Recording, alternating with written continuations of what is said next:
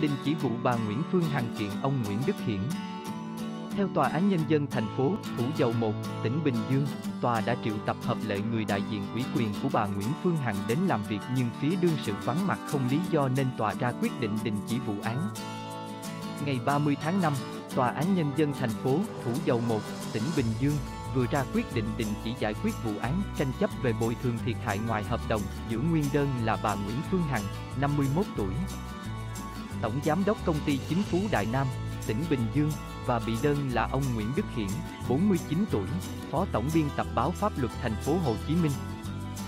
Lý do, theo quyết định đình chỉ, tòa án đã triệu tập hợp lệ người đại diện ủy quyền của bà Nguyễn Phương Hằng là ông Hồ Nguyên Lễ đến tòa để tham gia hòa giải.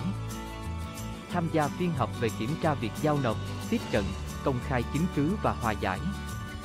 xong ông Lễ xin hoãn phiên hòa giải vào ngày 22 tháng 12 năm 2021 vắng mặt không lý do vào các ngày 16 tháng 5 năm 2022 và ngày 26 tháng 5 năm 2022. Trong khi đó, bị đơn là ông Nguyễn Đức Hiển không có yêu cầu phản tố. Vì vậy, tòa án đã ra quyết định giải quyết vụ án dân sự sơ thẩm trên.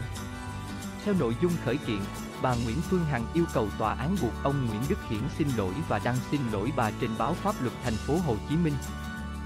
buộc ông Hiển yêu cầu Đài Tiếng Nói Việt Nam rút bài viết không thể để bà Nguyễn Phương Hằng cho mình quyền xúc phạm bất kỳ ai trên mạng.